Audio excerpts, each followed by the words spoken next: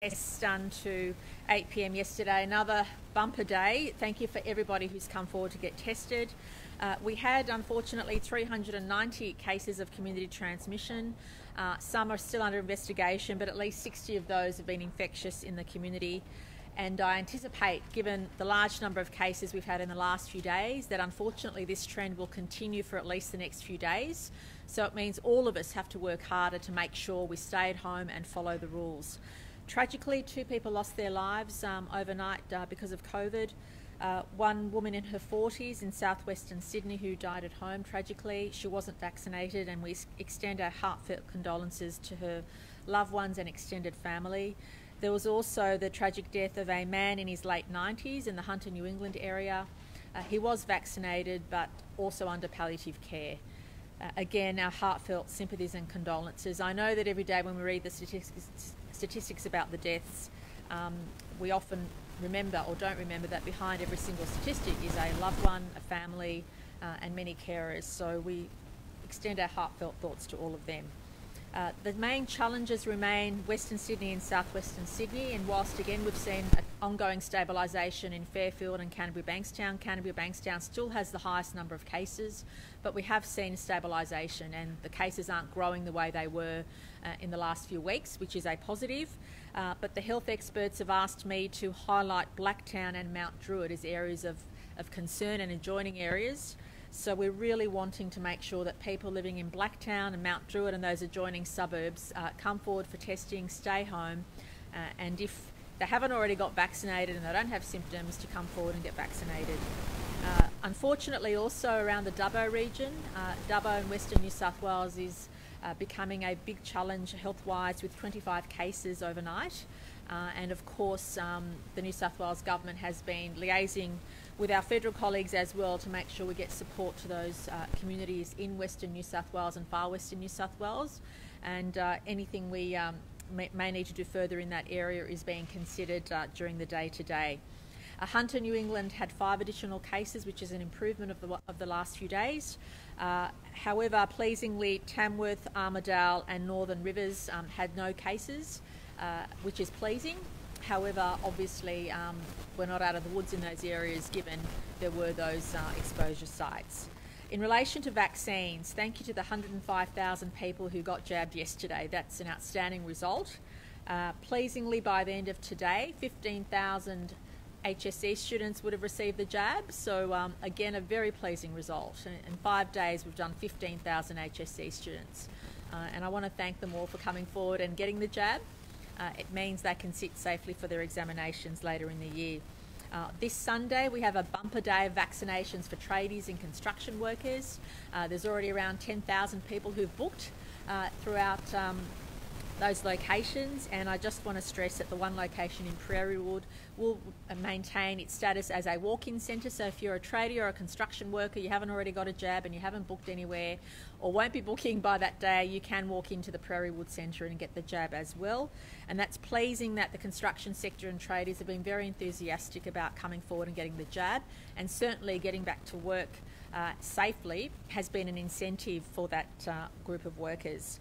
Uh, pleasingly, from Monday next week, 100,000 authorised workers aged between 16 and 39 years of age in those local area governments of concern in Greater Sydney will be getting a jab. So, uh, their workplaces, through their workplaces and through other points of contact, they'll be sent invitations. Um, so, over and above uh, what we're doing already, 100,000 um, uh, authorised workers, and we know that workplaces and households remain and continue to be the greatest source of infection. We know there's categories of workers that just can't stay at home because of the important work they do, whether it's in healthcare, whether it's in getting food on our table, they must work. And knowing that they're going to get vaccinated gives us that greater degree of confidence uh, in trying to reduce the spread, but also in making sure people stay out of hospital. And that's what we need to ensure.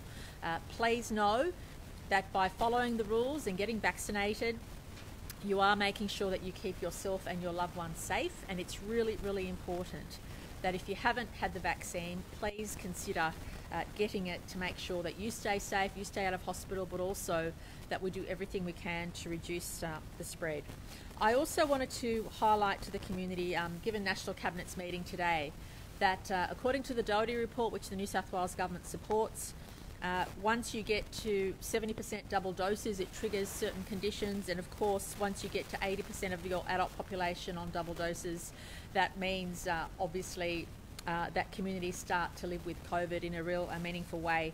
So, on current projections, conservatively, New South Wales will get to um, 70% double doses by the end of October, and by mid November, we hope to get to 80% double doses. And of course, um, I'm looking forward to those 6 million jabs occurring by the end of August. And so far, we're doing very well. I think we're up to 4.7 million or 4.8 million by the end of today in terms of jabs. Hopefully, we'll get to 5 million early next week and then uh, the sprint towards 6 million by the end of August. And we're looking forward to hitting those milestones because we know the more of us, the higher percentage of us that are vaccinated, the greater opportunities we have in the future and the greater opportunities we have um, to live more freely and safely. Uh, so uh, I'll now ask uh, Dr Marianne Gale to give the health update. Deputy Commissioner Willing will talk about some police operations and then we'll take some questions. Thank you.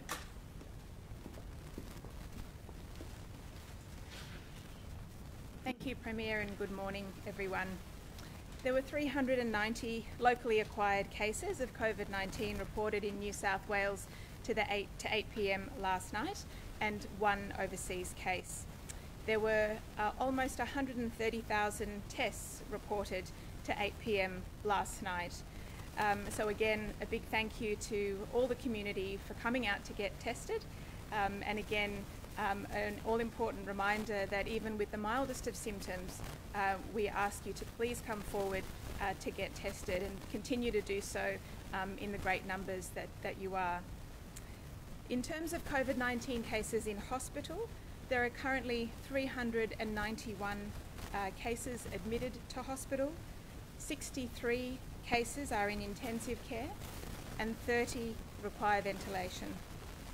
Of the 63 in ICU, four are in their 20s, six are in their 30s, five in their 40s, and 15 are in their 50s. And I just want to emphasise, I guess, again to people the importance, particularly for young people in our community. Um, with this Delta variant, we are seeing a large number of younger adults uh, being affected by COVID 19.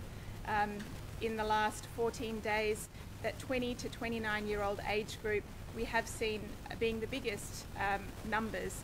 And so I just want to particularly uh, encourage younger adults in our community to please um, take the stay at home orders in um, the Greater Sydney area. Um, you know, as seriously as you as you possibly can. Uh, please follow the advice. Please get tested. Please get vaccinated. Of the 63 people who are in ICU, uh, 55 are not vaccinated. As the Premier mentioned, we're very sad uh, to, to, be notified that two cases of COVID um, di uh, diagnosed um, died uh, overnight. The first is a man in his late 90s from Newcastle who died at Hawkins Masonic Village in Edgeworth. Um, he had, acquired his infection recently as part of the outbreak in the facility. Um, he had received two doses uh, of vaccine, and our heartfelt um, sympathies go out uh, to that family uh, at this time. The second death notified was a woman in her 40s who died at home in southwestern Sydney. She was a close contact of another confirmed case. She tested positive on August 7th and was unvaccinated and the uh, local health district uh, will be investigating um, her death and um, and also be referring it to the coroner. And again, um, our sincere, heartfelt condolences uh, to her family. I'd like to provide a brief update on Western New South Wales. Um, overnight, we had 10 new cases identified in the Western New South Wales Local Health District, um, the majority being in Dubbo and two um, sorry, in Walgett. Um, it is an evolving situation in Western New South Wales um, that we are uh, carefully monitoring, and um, we do expect to see some further cases emerge. Um, in the sewage detection, uh, there has been COVID 19 detected in the Bathurst region, Parkes, and Bourke. and so we encourage all the community in Western New South Wales to please note the stay at home orders, um, stay within your household, um, don't go out only for reasonable excuses. Please seek testing um, and please get vaccinated um, as soon as you have an opportunity to do so. In Hunter, New England, there were five cases uh, notified overnight. One is an additional case associated with the residential aged care facility, um, and the four other cases are those linked to previously reported cases. Um, and finally, um, just to emphasise, as the Premier did earlier, um, we'd like to encourage uh, people who live uh, in the Blacktown area um, and Mount Druitt area as well to please uh, follow the stay at home order um, and please come forward for testing uh, if you have even the mildest of symptoms. Thank you.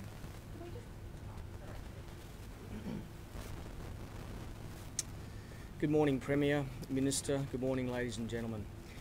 In the last 24 hours, 404 infringement notices have been issued and 41 people charged with breaches of the public health order.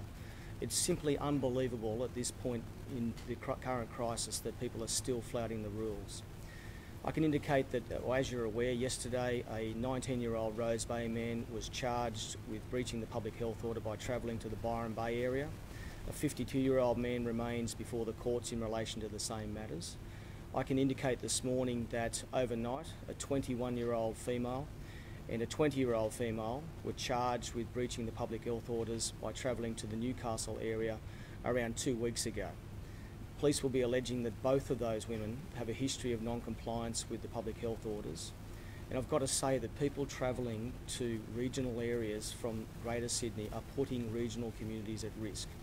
If we don't catch you during our compliance operations, which is highly likely given uh, the, the amount of resources that are out there on our roads and in our communities trying to find people in breach of public health orders, we will so, we will do so through our investigations. Um, just overnight, police responded to 1,100 odd Crime Stoppers reports.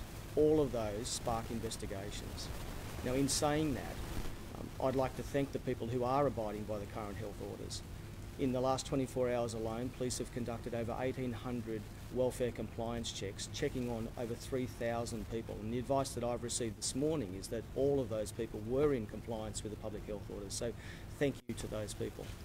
And I just want to reiterate too that uh, emergency management arrangements in the form of, of, local emergency management committees and regional emergency management committees are up and running across the state of New South Wales to support people through this difficult period.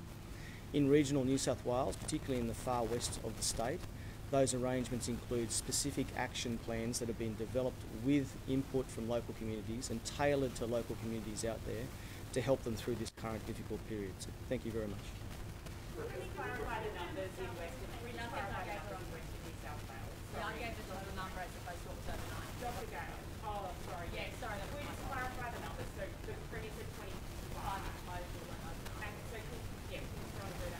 That's right, yeah. So the numbers I was giving was till 8 pm last night. Um, the Premier's right, and hence I mentioned it is an evolving situation in the, in the district. Um, we are seeing some further cases come through. Um, so, yes, there will be, um, uh, there's around uh, 22 uh, cases currently in Western New South Wales, um, but the figures I gave were to 8 pm last night. That's obviously incredibly concerning, that level of transmission in that area. Um, that's right, and so we are concerned about Western New South Wales and why we're asking um, the uh, residents of Western New South Wales and those LGAs that have been named as where stay-at-home orders are in place um, to really uh, follow the public health advice, do stay home, um, don't have visitors to your household, only leave your household if you have a reasonable excuse, and please come forward for testing if you have the mildest of symptoms. Um, so there are considerable efforts going on locally um, uh, from New South Wales Health and partners, including the federal government, um, to support the response in Western New South Wales. Um, we're particularly aware that we see a, a, large proportion of the population in that part of New South Wales um, being Aboriginal uh, communities, and we're particularly conscious of being able to best support um, our Aboriginal communities um, during this time.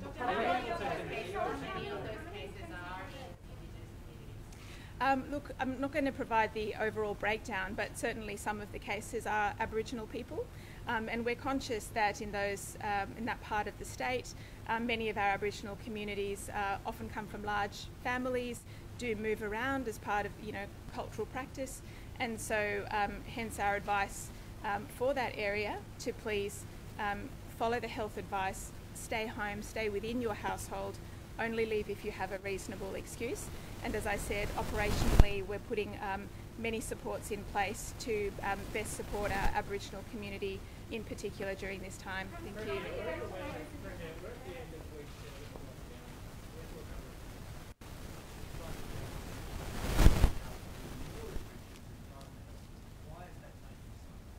Oh, look, it's really important that uh, we're dealing with a strain of COVID, the Delta variant, uh, which is really untested in this magnitude in Australia. And uh, we need to make sure we're flexible and adapt as the disease and the virus moves through our communities. And uh, we have learned a lot in the last few weeks. And I think it's important, as I've said from day one, that if there are evolving situations, if there are updates to the health advice, we need to take that on board. We need to make sure we consider it. Yeah, in relation to in relation to um, the police advice, um, as I said, uh, the police commissioner and and the deputy commissioners, Deputy Commissioner Worboys, Deputy Commissioner Willing have been on the ground, and can I thank them for setting up the emergency management committees in those local government areas of concern, including in Western New South Wales. The police have been outstanding throughout this process in making, making sure they're standing up a whole of government response whenever there's a local government area of concern, whether it's in Greater Sydney or whether it's in our regions. And this means bringing together and wrapping around whole of government services, um, whether it's compliance activity, whether it's obviously the health services, but also social services uh, in very um, in some very challenging communities in part. So it's really important to make sure those processes, those extra compliance measures continue. And if there's more we need to do, uh, we obviously will be considering uh, advice uh, from police in relation to additional measures as well. I'm sorry, I didn't hear the question.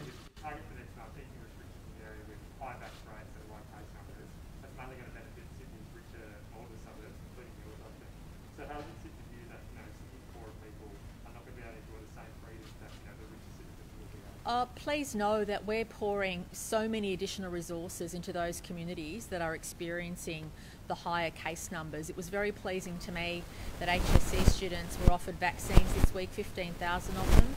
100,000 16 to 39 year olds will be offered vaccine in those local government areas of concern from Monday next week. An opportunity I know that many other people would like in that age group to get the vaccine. Uh, and of course, we're also making sure that we have the additional pop up clinics, the additional social services. So please know we're doing everything we can to support communities going through that difficult time. But we do also know that we're all connected. We do also know that uh, when one part of our great state is going through a particularly difficult time, it impacts on all of us.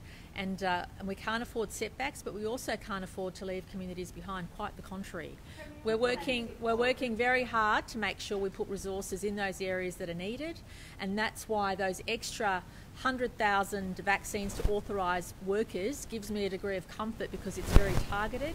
It's targeted to those young people that are still having to move around from those communities because of their jobs, and it goes specifically to workplaces. And I want to thank uh, various industry leads, industry heads who've worked with us to target those categories of workers who will be getting uh, the 100,000 jabs, the, the young ones, the 16 to 39 year olds, who we know uh, in this outbreak uh, are as susceptible to Delta, but also, uh, unfortunately, because of their jobs, are then potentially taking that home to their large extended families. And if we get to them next week, uh, we think that will have a positive impact in reducing the spread, but also importantly, and again, I know it's horrible every time you talk about a death, um, but that is what we need to prevent. We need to prevent people ending up in hospital and we need to prevent people dying and that's why vaccines will help. Stopping the spread obviously helps, but um, I'm not going to shy away from the fact that increasing case numbers is a horrible situation and not one we want to be in.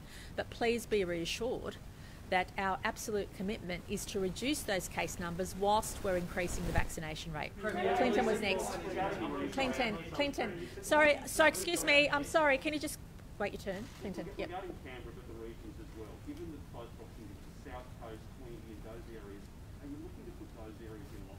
Well, look, I, it is an evolving situation, so we look at the health advice, and I know that people are concerned about various movements that have occurred overnight from the ACT to parts of our south coast, and we have had concerns from community leaders about that today. So um, the, the, health the health team has advised the minister and myself that they're looking at those issues today. It's an evolving situation, and if we need to do anything as a preemptive move, we will. Similar to what we've done in other parts of the state, we will. Uh, but no doubt, what is really critical is in a pandemic, you can't just say these this is what we're doing today and, and just stand still. When things change, when things move very quickly, you have to adapt and move as well, and that's exactly what we're doing. With the, uh, with the evolving health orders and the police uh, enforcement, which seems to be increasing, um, there's still confusion around some of the public health orders. For instance, on the Health Service New South Wales website, uh, it says people can leave those red zone LGAs if they're engaged uh, it, with looking after vulnerable people. Now, with that, um, when you call Service New South Wales, they say uh, that they couldn't tell you whether it's a family member who's allowed to go, and they say up to the police officer at the time to enforce the rules. How are people meant to know whether they're breaking the rules and whether they could be subject to a fine? Look, it's pretty obvious to us, and pretty obvious from the feedback we get from police, that uh, people use the health orders as an excuse or to do the wrong thing. So people are saying, oh, I didn't know this was this or this was that. Most of the time, that's not true. Most of the time, people are knowingly, can I make this very clear? Police are doing an incredible job uh, in terms of compliance. But let's not pretend that people are doing the right thing. People are knowingly doing the wrong thing and pretending it's because they didn't understand. Now, we've been very clear about what the rules are. Stay at home unless you absolutely uh, have to leave your house because of authorised work and make sure if you have symptoms you don't leave the house you get tested and stay home and isolate. And of course come forward and get vaccinated. People know the basic rules. Unfortunately again can i acknowledge and this is really important because if you go to some of those local government areas of concern in western sydney and southwestern sydney I get updates from Deputy Commissioner Worboys and, and Willing all the time. Some streets are absolutely bare, there is nobody around. The vast majority of people are doing the right thing, but when a handful don't, it is a setback for all of us. For example, there was one, one person who knowingly did the wrong thing and has caused havoc in about seven or eight local government areas in Western New South Wales. Now, this just demonstrates Delta does not leave any room for error. Delta does not leave any room for even one or two people doing the wrong thing. I want to stress that the vast majority of people are really trying to do everything as best they can, but it's a handful that use the health orders as an excuse when in fact they know they're doing the wrong thing. And um, I don't know if Deputy Commissioner Willing has an update on that situation in Byron Bay, for example. When people knowingly do the wrong thing and pretend they didn't know, that's not acceptable. So I'm a, bit tired of hearing people saying they don't know uh, what they're supposed to do. It's really people knowingly having disregard, unfortunately, for their loved ones and also the rest of us in breaching uh, the health orders. Sorry, we'll just get. So we'll just give everybody a turn. Yep.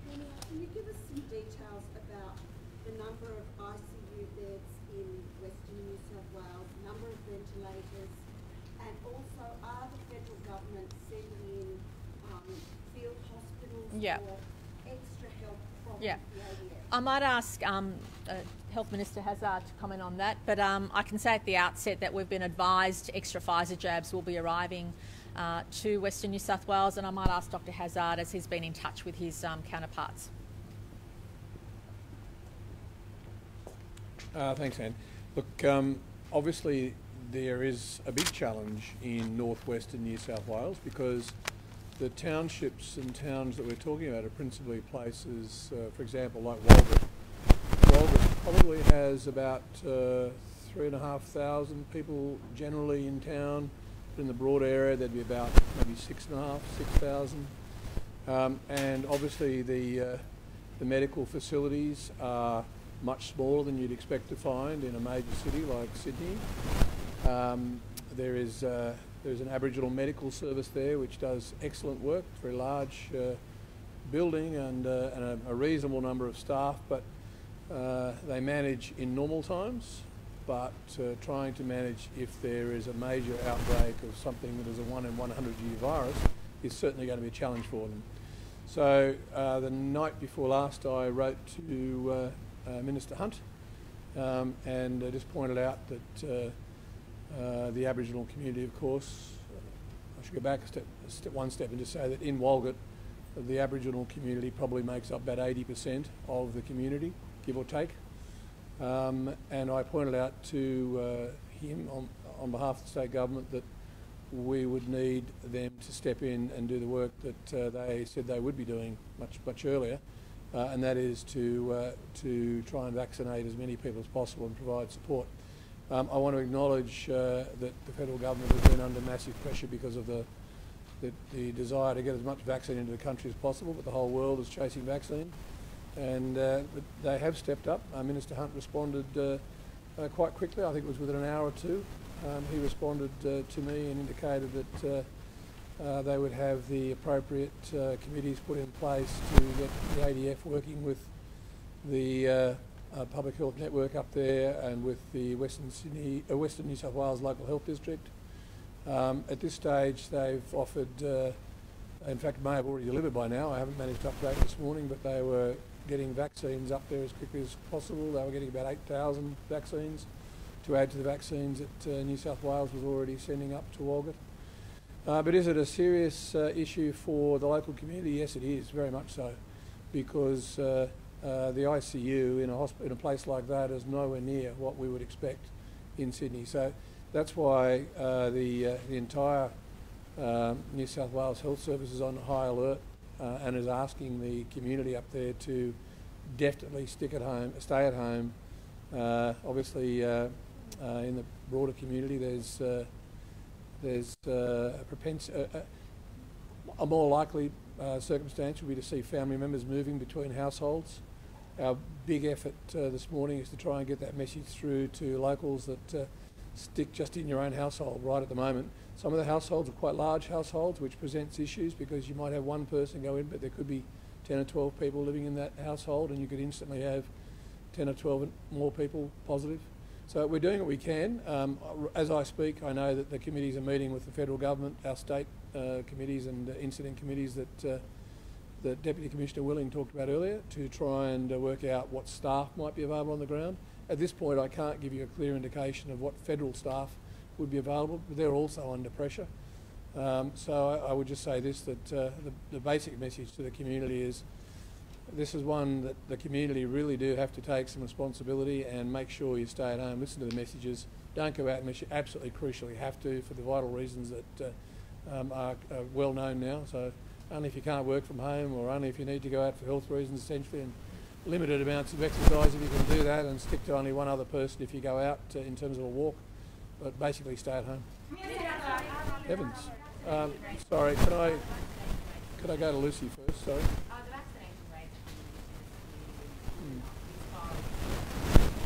I'm sorry, Lucy, say that again. Oh. When you say good enough, that's that's it's a loaded question in the sense of uh, are we seeking to blame somebody? I'll just say this that there's a shortage of vaccines across the world, um, and until the last uh, few weeks, there's been. I mean, every day I come here, and every day I, in, when I arrive at the office, there's texts and emails asking for uh, vaccines to go to different sections of the community, and they sometimes would prefer one vaccine over another. Uh, I think there's been a challenge that is obvious to everybody, um, and uh, we would have all liked far more vaccine to have been in those uh, more remote communities because it was identified last year that uh, there were some risks in our state, particularly in those areas. In other states, I've spoken to the health ministers there, they have had uh, um, the same issues. So I think uh, it's not a case of blaming anyone, it's just recognising that there have been other priorities. and now the federal government are obviously trying to assist us or we're trying to assist them, I should say, in, in a sense of doing what was their obligation, and that is making sure, on, making sure that we try and get those vaccines up there and into arms. Um, sorry, should I go Sarah first and then you? Is that right? Uh, that's not been proposed to me by the health officials at any point. No, as I said yesterday, we've tried to balance all the way along through this, uh, keeping our economy open, trying to address mental health I'm sure each of you would be knowing people now who are really struggling with uh, mental health issues, and uh, let's face it, it's a pretty awful time. So we're still trying to strike that balance here in New South Wales and making sure that pe- people get that. But no, no, no intention to do that at this point.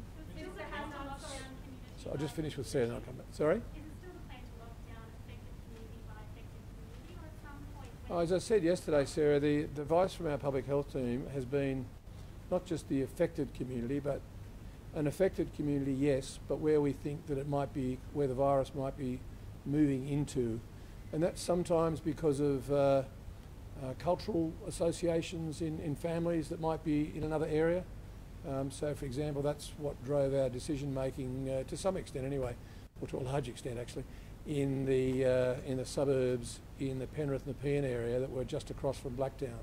So, our public health team identifies to us that uh, there are cultural connections and families that have relatives and others that move back and forth. So, those sorts of issues.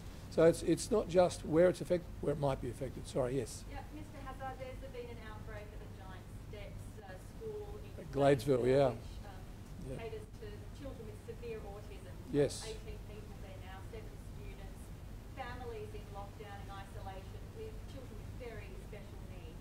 What's your response to that? How did that infection get into the school? And can you give us an update on vaccinations for the students and staff there? Um, I'm going to have to ask uh, Dr. Gale, but can I just say that that's been one of our real concerns um, that people with uh, disabilities um, and their families and, and uh, teachers have been exposed. And again, that's something the federal government's been trying to address because obviously people with disabilities were one of the groups that they identified early on that was their responsibility and that we were trying to help them with. But it hasn't been possible to get to all of the various facilities but we're still doing what we can to try and back them in and give them the support they need. Um, Dr. Gale, do you have any more information on that particular school at this stage or not? Take it on notice. Can we take that one on notice and get back to you because Dr. Gale doesn't have that information you, immediately? Could you give us, um, some of these families are saying it's really hard, A, to get their kids vaccinated or tested because of their disabilities and it makes it very difficult. Is the health department planning on doing, um, I guess, tailored approach to make sure that these students uh, and staff at the school are safe? Um, again, the federal government was leading that, but I, I have actually talked about this before. That, um, for example, uh, when we established the hub at Sydney Olympic Park, um, I made it very clear publicly that uh, if uh, if family, or go back a step, where it depends where the, where the people with disabilities are living, but in the I think it's 2,260 roughly group homes across the state, um, there was. Um, a need for the federal government to address that issue, but obviously it's challenging because each each home would only have uh, four or five people maximum and the staff. Um, and then of course there are a lot of people who, as you're identifying, still living at home, particularly school students. Federal government's responsibility was to get that out, but we're trying to back them in. And what we did, what we announced um, when we established the Sydney hub, the vaccination hub, was that if families could bring their their, um, their Uh, family members with disabilities to the hub, then we would make sure they were vaccinated.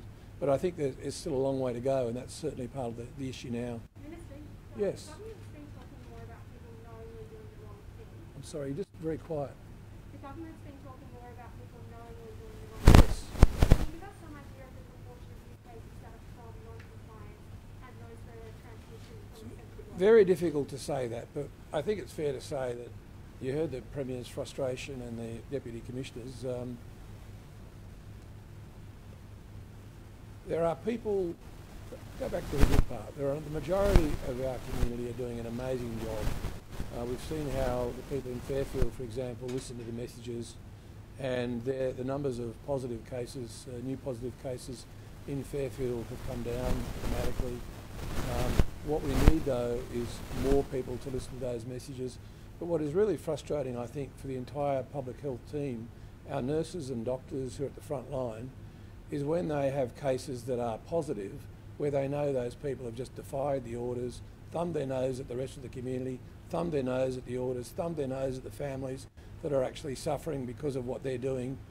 That is really frustrating. And I think that, uh, you know, there's, uh, if you look at what's happening in the United States at the moment, there are thousands more people now becoming positive, uh, many hundreds more dying when they thought they were doing well. Delta is an extremely dangerous weapon, and some people are allowing it to be used as a weapon because of their ignorance, their stupidity, and their desire just to thumb their nose at the, uh, the health orders and the law generally and the community. Uh, I think uh, we all need to make sure those people know that uh, they need to step up and start behaving like they're part of the broader Australian community. Yes. yes. Can I just ask, is, is it confirmed that a year 12 student will be testing live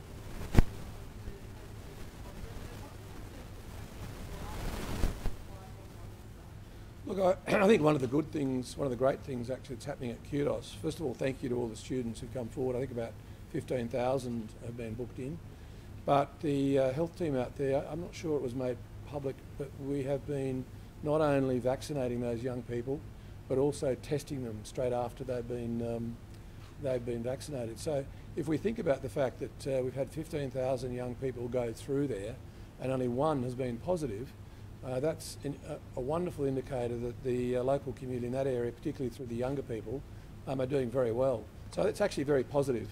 And I think the health team there felt very positive about the fact that there was only one case. Regarding, regarding, you know, Sorry, um, Clinton. there was still 24,000, I think, was scheduled available, uh, had qualified to get it. What happens to the remaining 9,000? And then what happens to the students in those three new LGAs, Burwood and Bayside, Strathfield, if we're switching straight from Sunday? Where do they go?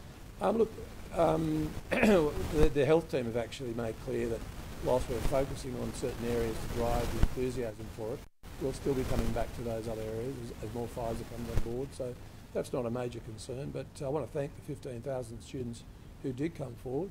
And, and sorry, Clinton, can I just finish? And can I say, everybody who gets vaccinated, everybody, becomes an ambassador for vaccination.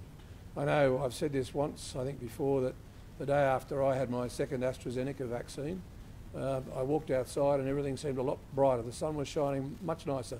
So I've got to say, I think we all need to just realise that as we get each person vaccinated, they are ambassadors for vaccination, and they drive back against those who uh, who uh, are uh, perhaps uh, uh, ignorant of the understanding of what vaccines can do for the, for us and the world. Liz, Dr. Gale, sorry.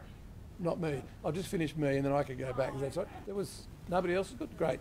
Okay, uh, Dr. Sorry, Gale. Can we just get some more information about the um, tragic death of the woman in her 40s? Was that in Cabramatta? And um, obviously she was at home.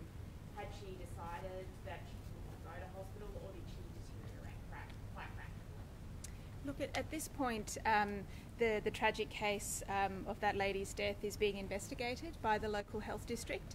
Um, what we do know uh, is that the health services were in contact with the family um, in the days um, preceding her tragic death. Um, but as I said earlier, um, all of those issues are being looked into um, by the district to understand what happened, um, and it's also will be referred to the coroner. If I could ask you a question, Sorry, then, Premier, just if one I more could just ask you. Oh, sorry. Sorry, just in terms of children, um, we're seeing a lot more children being infected. Um, are children getting quite sick with COVID, or are they sort of, um, you know, having more mild illness? And at this current stage, with those high infection rates in children with no vaccination available to under 15s in Australia, how do we think we to safely get children back into the classroom, knowing that they are spreading COVID? Yeah, look, thank you for that question. Um, that's a great question, and certainly um, we are concerned about the number of younger people, um, as I mentioned earlier, affected um, during this Delta outbreak, and certainly we look very closely um, at the infection rates in children, um, and our, I know that our Children's Hospital Network, um, you know, have a have a large number of children who are who they are um, supporting in the community, and for those children who need hospitalisation, you know, taking very good care of them in hospital. Um, but clearly, we are seeing more children being infected with COVID this year compared to what we were seeing last year. And certainly, we're discussing those issues with the Department of Education um, and others uh, industries that look after children as to you know what are the right um, measures and, and settings because um, you know we are seeing uh, children more children with COVID and so that's absolutely something that we monitor very closely um, and are consulting with experts about. Premier, if I could ask you a question Talks about underway, talks underway with the hospitality sector about potentially allowing fully vaccinated people to go to restaurants or, or bars if they're, if they're fully vaccinated by September as soon as.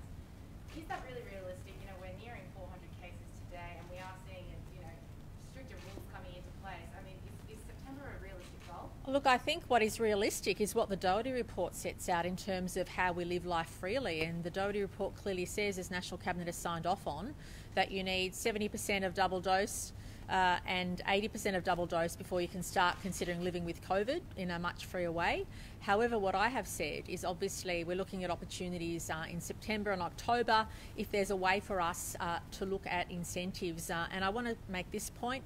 I know that many assumed the construction sector and tradies would balk at the suggestion of getting vaccinated. The enthusiasm we've had from people to get vaccinated to be able to go back to work has been a very strong indication of the type of policy settings we might follow in the future.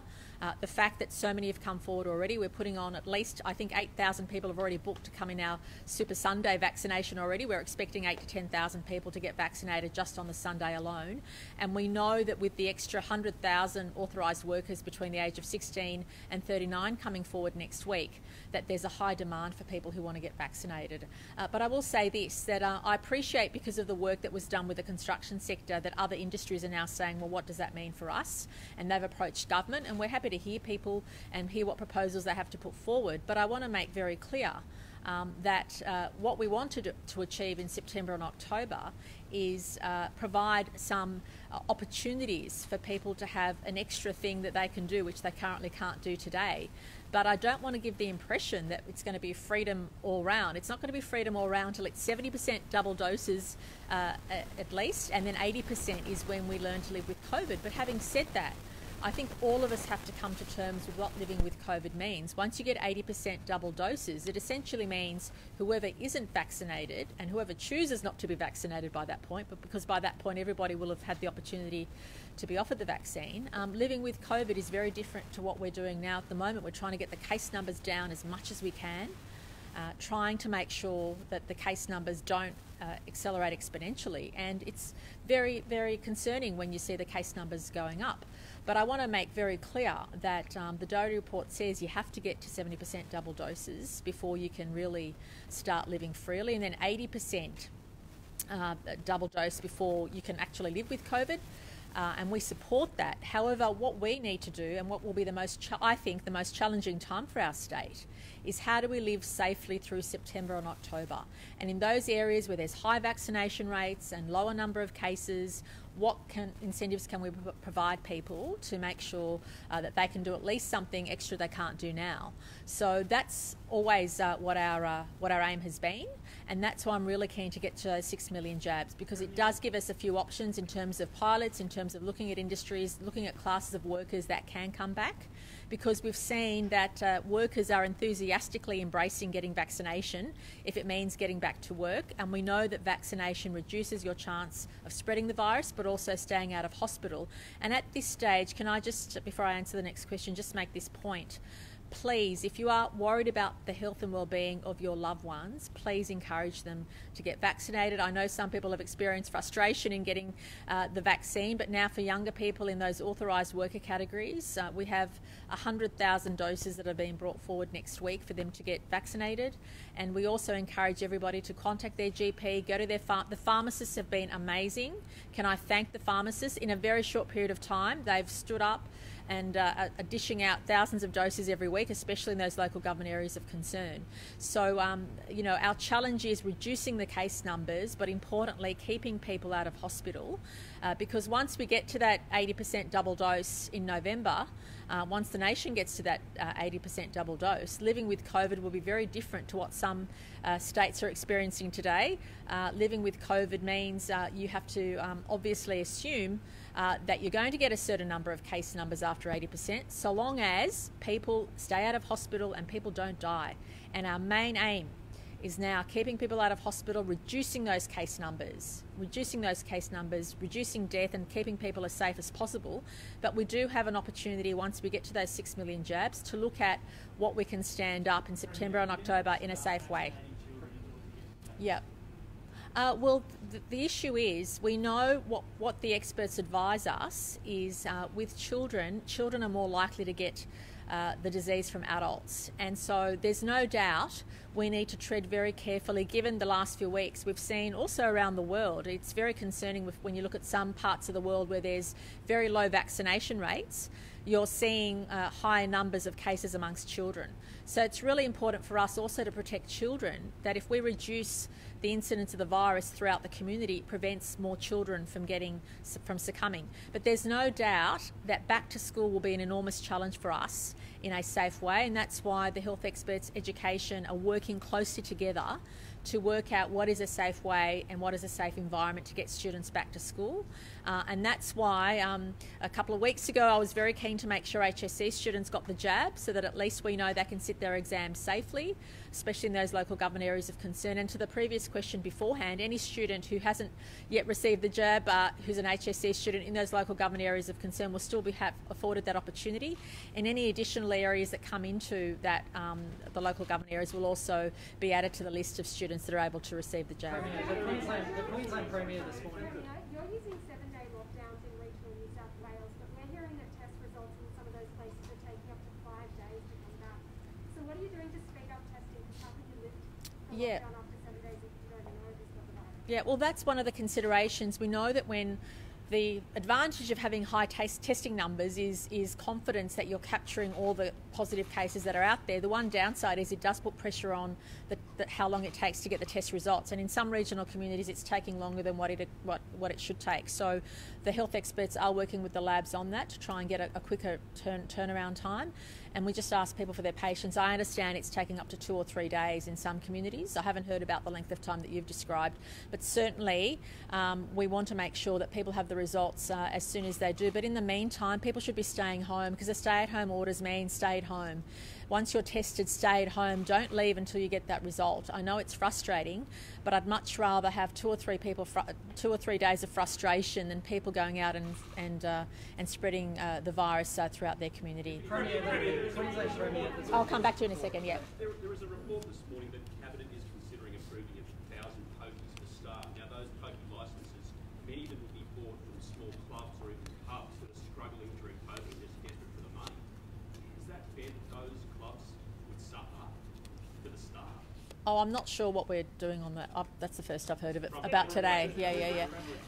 Don't don't always believe what you read. Yeah. The Queensland, the, the Queensland Premier this morning is demanding that you provide a clear path for containment from COVID, considering the case numbers are, are continuing to rise. Can you describe what sort of pressure the other premiers are putting on you now, considering the outbreak continues to get worse? Uh, look, uh, I probably felt the same pressure I felt with them uh, during the last 18 months. Um, I respect the National Cabinet process. I uh, appreciate every Premier has a view on, uh, on how things should be done, but I also appreciate uh, that New South Wales uh, has the largest population, the largest economy. Uh, and I think uh, as they want us to always sit up and listen to their specific circumstances, I think New South Wales uh, should be afforded the same. So uh, I look forward to those uh, National Cabinet discussions. I think we need to have those healthy, robust discussions about the future. I think we need to be real about what Delta means and be real about what the future looks like and be real about how we can best protect our citizens. Yes, we're part of New South Wales, but we're also Australians. We're part of a nation and we have to accept what Delta means. We have to accept what the future looks like and be real about it and deal with it and have honest conversations with the public about it. And uh, that's what we've tried to do in New South Wales. We don't always get it right. We don't always um, predict things as, as the way we think they're going to happen. But what we can say, hand on heart, is we're always upfront and direct. And as soon as we know anything, as soon as we have a new learning, we convey that. But I think it's it's about being real about what Delta means. And it's not just an issue for New South Wales. When Dr. Chant and I said again a few Fridays ago that this was a national health crisis, we meant it. Um, and and I commend Victoria. They don't have as many cases, but they're still having to be in lockdown. Delta is here in Australia, and we have to accept that. And whilst all of us would like to get down to zero as quickly as possible, we have to also be real to the challenges that involves. It is really, really difficult. Even when 90, 99% of people do the right thing, with Delta, even having a handful do the wrong thing every day is chaos And that's why uh, police will be increasing their compliance efforts. That's why we're making sure we're not leaving any stone unturned. But I also feel, if I can be so direct, that our nation has to come to grips with what Delta means. We need to look around the world as to what's happened uh, and be real about it and make sure we have everything we have in our power to reduce the spread, keep people out of hospital, keep them safe, and give everyone the chance to come forward and get vaccinated. Sorry, there was another question. Sorry, you, said before that you don't want to segregate communities with relaxing restrictions, but isn't that I'm sorry, I didn't get the first bit of the question. Before you, you can't segregate communities with relaxing of restrictions, but isn't that what you're going to be doing next month when you do that? Oh, look, as I said, um, once we have six million jabs uh, in the community, we will have options before us. And Some communities will get that first. well, I have. not a blanket approach. Well, I have asked. Uh, I have asked the health team to provide government with advice to if there are certain class of workers, if there are certain classes of, of, of citizens that are completely vaccinated, what opportunities can that afford? And for example, with construction, that's a good example of how we are allowing people back on work sites so long as they're vaccinated from those eight local government areas. And the rules within those local government areas are there, but they're a bit different to what's in other local government areas. So there's opportunities for us to consider what is a safe way to look at an activity in September October, which people currently can't do, which won't impact on the case numbers, but will allow our citizens to have that extra bit of incentive and freedom that they don't have now. And I think that's reasonable. There are lots of things, and I want to make this clear there are plenty of things you can't do in New South Wales that you could do during the lockdown in Melbourne, for example. Uh, I'm going back to last year. There are certain classes of things you can't do now, none of us have been able to do for nearly two months, that you were able to do in Victoria. So we're looking at those. How, how can we safely bring something back? Um, given we'll have 6 million jabs, and given I'm hoping in the next few days we'll get to at least 50% first jabs in New South Wales across the board, which is a very positive sign. And I can't say enough how important it is. And I know if you've had challenges with the booking system and there's constraints, um, please don't give up. Please do keep coming forward and getting vaccinated. Um, we know that is the way for us to provide that opportunity for greater freedom to living with Delta into the future. But we also have to keep it real. We also have to uh, realise what it means if you're fully vaccinated. Uh, and uh, you're keeping your family safe and yourself safe. When we get to 80% double doses for adults, there'll still be a category of adults who choose not to be vaccinated, and they're the conversations we need to have as a nation about what living with Delta means. And that's what the Doherty report talks about. But obviously, we are in a stronger, stronger position the lower the case numbers are by the time we get to that point. So please know that it's always our intention to get the case numbers down as much as possible, and that we have to do that. That was supposed to be the last question. sorry, just with businesses, there are still so many that have not got a response. We're doing 5,000 applications a day. You say we can complete 100,000, clear the 100,000 backlog by next week. Mathematically, that's not possible. How, how is this going to be solved? And is it time for the federal government to step in and, and relieve the burden on Service New South Wales, which Oh, they don't want to do that because they, they want us to do that, which we're happy to do. But please know that um, Service New South Wales has done an incredible job cle- clearing a lot of the backlog. In fact, uh, I received an update to say the vast majority of the backlog has been will be completed by the end of today. I said next week. Uh, please know they've done an amazing job getting thousands and thousands of applications out the door every day. Um, and Minister Dominello will be giving an update next week to make sure that everybody is clear on what the wait times are, how we can process applications, and certainly it's one area of stress we want to take away from the community. Last question, yeah. And also, can you explain to us how tightening up these uh, health orders and bringing in extra restrictions today are going to help your office solve the Oh, well, look, as I said uh, yesterday, the Commissioner will bring back his recommendations about uh, additional measures this afternoon to Crisis Cabinet. But um, yeah, police are out there day in and day out in hundreds and thousands um, enforcing health orders. What's frustrating for us is that small minority who are knowingly breaching those orders.